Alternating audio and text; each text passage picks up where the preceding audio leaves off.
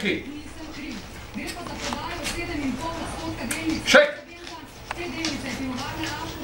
Pusti jih, da papajo.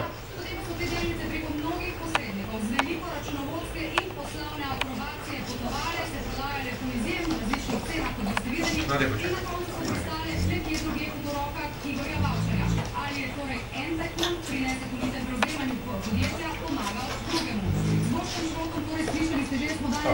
smo ga seveda tudi o tem poslu.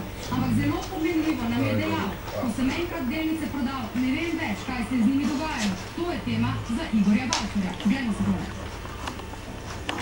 Torej niste pomagali Igorju Bavčarju pri njegovem prevzemu?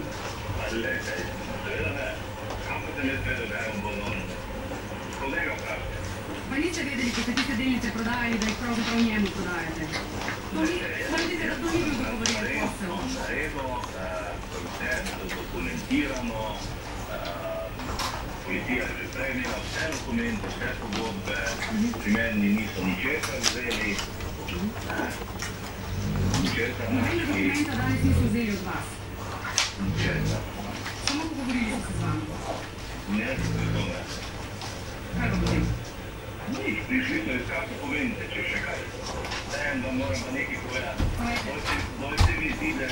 Da, bi ti zaslužil proračun pa te tegobe eh, na prvem mestu, pa mi pa Igorja.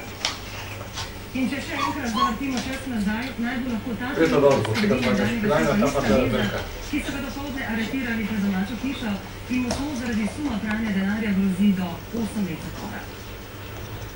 Zgodaj zjutraj ob šestih so potrkali kriminalisti na Bavčarjeva vrata v ljubljanskih Murgljah.